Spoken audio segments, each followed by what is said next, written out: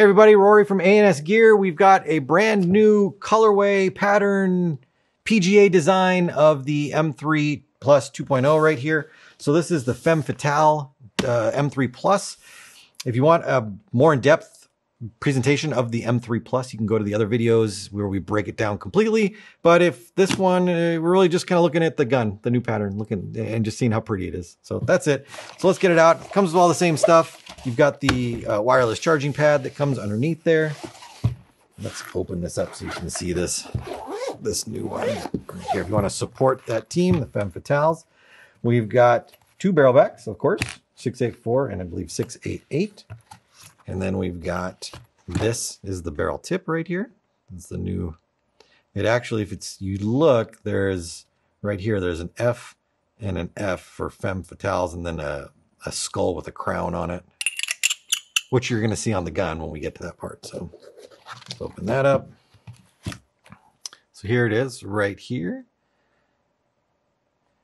It's a gold and purple colorway on there with some clear logo on there. With there's the skull and crown, and then the double F with the shield, skull and crown, and then you also get that on the uh, bolt release button back here too, which I like that. I like when they put something right on that one. They do that on the Iron Man one as well. The Iron Man.